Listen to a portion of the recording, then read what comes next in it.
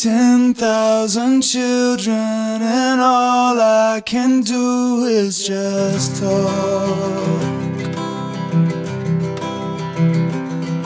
While my house is full of possessions and negligence bought. Everyone tells me that I'm not to blame.